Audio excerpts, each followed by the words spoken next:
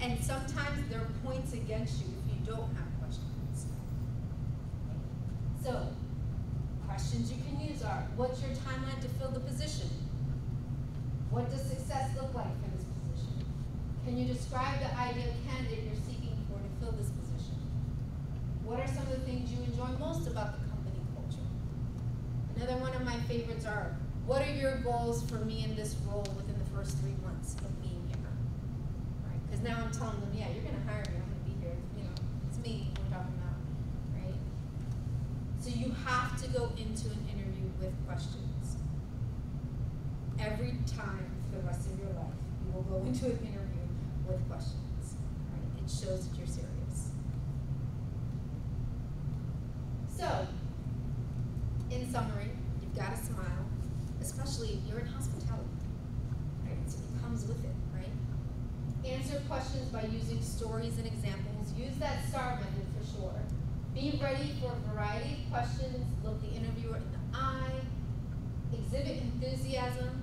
Avoid the ums, the ahs. And I don't know if you caught it, but in the video, the, the gentleman says, well, I would say at the beginning of every question, well, if you have something to say, just say it. You don't have to preface it with, with I would say. Would say, like it, it gets like a broken record, right?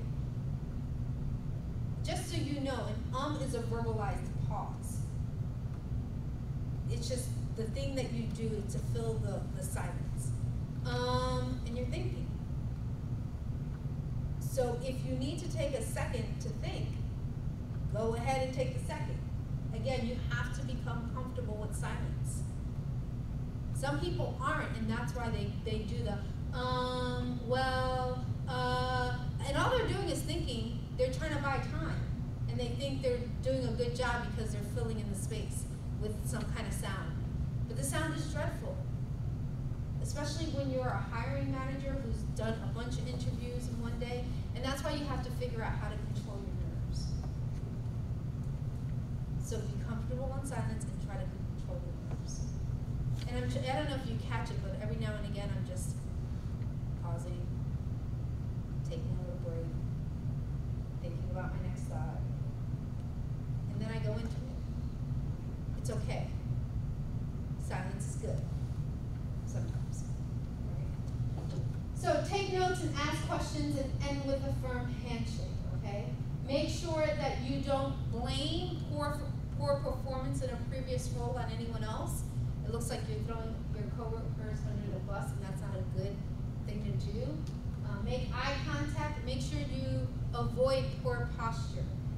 Uh, ladies and gentlemen, another great trick when you go to sit down um, for your interview, when you sit down, just pull the back of your jacket as you're sitting so that the lines of your jacket look nice and crisp. Some people will sit down and then they have like this hunchback look and they're sitting there the whole time with this hunchback look and all I'm doing is looking at your hunchback, okay, instead of making eye contact with you. So this is something that literally reporters do, all right? I mean, they, they when they sit down in front of the, the camera, they just kind of pull that the back of that jacket right? So, and it also makes you sit up straighter too. So that's why I bring this up.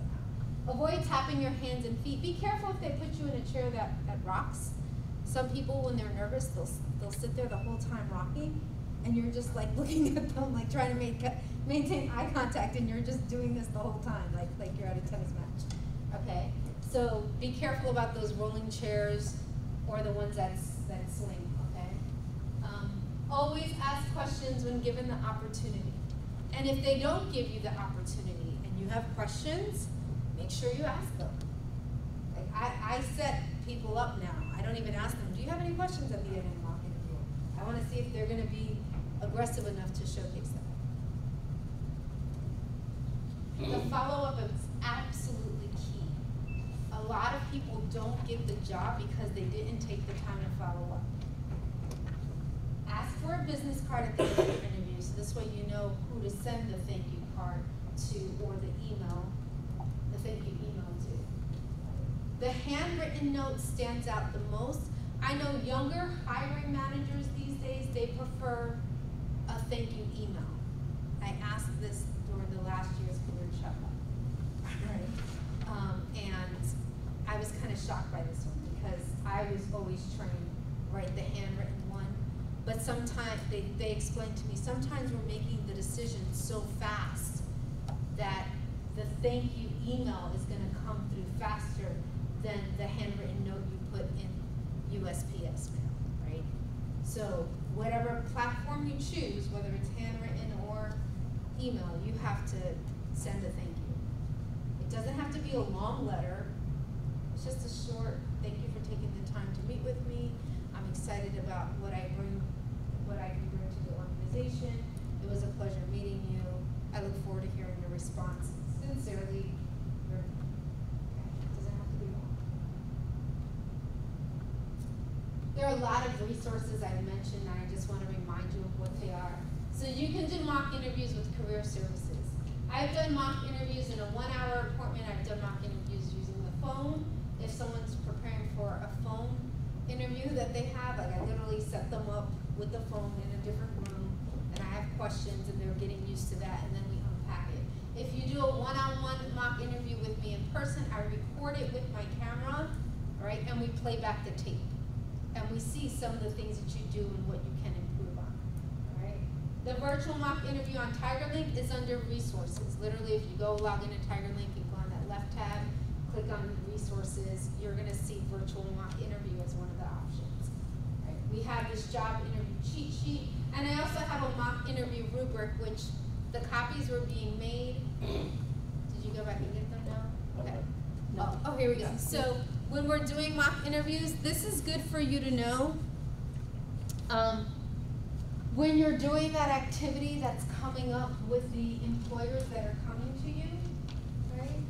Know what, this is how they might be critiquing you. If you know what the expectations are, they're easier to achieve.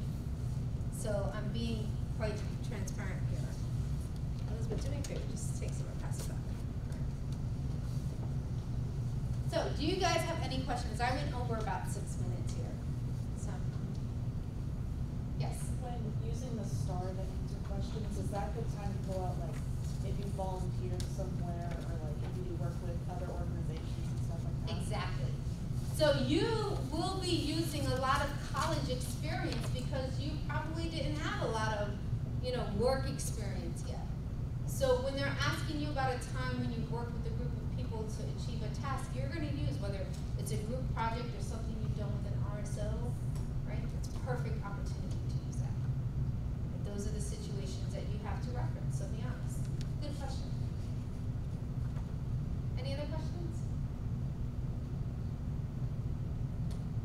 The key thing is practice, guys. Don't take this information, file it away, and then like a year from now, maybe at the end of the semester, you have to practice now while it's still fresh. Because if you get stumbled by anything, you have a lot of people here who can help you work through that problem. So please be sure to take out your phones now and log your experience on Tiger Zone. Remember how to do that? Okay, you've been doing it for this class quite a bit. I want you to log this one, and I'm gonna put my name and contact information up on this board so you can note. Cause I know a lot of people don't know how to spell my, my phone list. You can take out your phones right now to do that.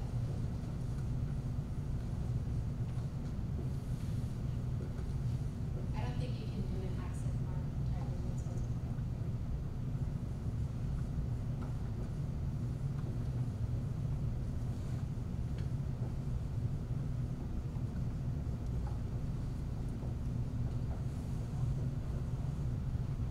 And I am technically a career specialist, I think it asks.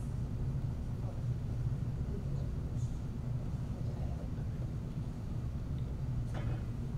Thanks so much for your time today, I'm off to do a mock interview with the